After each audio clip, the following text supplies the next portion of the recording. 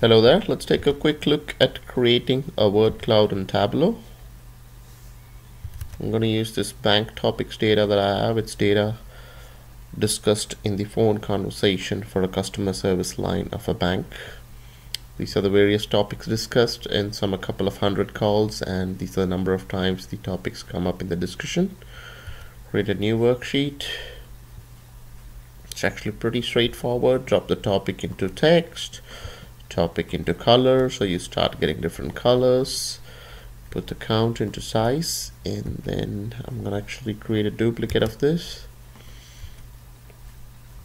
And then uh, just change this to say text. There you go. And then you have the word cloud. Uh, you could do a quick copy of this by doing a right click copy image and then you could paste it directly into your uh, PowerPoint presentation or something uh, again looking at it once more a little slower this time. Uh, the data is here. This data is basically uh, data discussed in phone conversations for a customer service support line for a bank. Uh, these are the topics discussed in a couple of hundred calls. This is the count for each topic. And you go to sheet drop the topic into text uh, topic into color and the count to size. Uh, actually and then turn this to say text. And there you have it.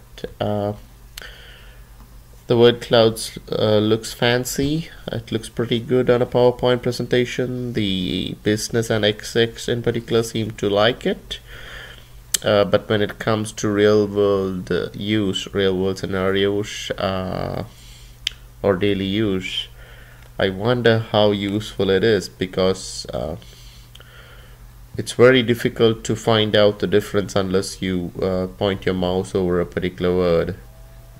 You see when the count is uh, marginally different very small differences there. You can't really look at it and figure out where uh, what's coming next? You can't figure it out unless you move your mouse over it. For that reason I like the tree map a little better though of course uh, there might be folks who might like the other one better for the looks of it. But anyway so in the tree it's uh, be fairly easy to figure out what's coming next in terms of count.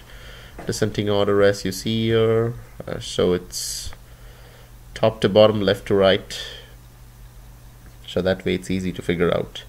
For those of you who haven't tried Tableau yet uh, the free version is also available. Uh, it's called Tableau Public. You should definitely try it out if you know and uh, it's as good as the desktop version. The only thing is you cannot save uh, data onto your own machine. Uh, but for you know training and creating a quick cloud like this you don't have to save the data. I mean you don't have to save the chart. You see how easy it's to create it. So create it and discard it if you like or if it's just for training purposes. And don't have any you don't have any confidential data. You can as well save it on the cloud. But yeah you should definitely try it out. Tableau Public. Thank you